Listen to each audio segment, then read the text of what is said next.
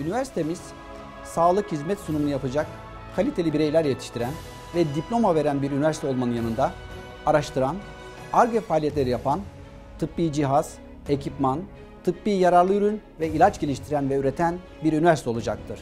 Bir başka önemli hedefimiz ülkemizin en önemli termal turizm merkezlerinden birisi olan ilimizin Sağlık Bilimleri Üniversitesi sayesinde ülkemizin ve dünyanın en önemli termal sağlık turizm merkezlerinden birisi olmasını sağlamaktır. Zaferin, termalin, mermerin ve lezzetin başkenti olan güzel Afyonkarahisar ilimizi 2018 yılında kurulan sağlık temalı üniversitemizde sağlığın da başkenti haline dönüştürmek istiyoruz.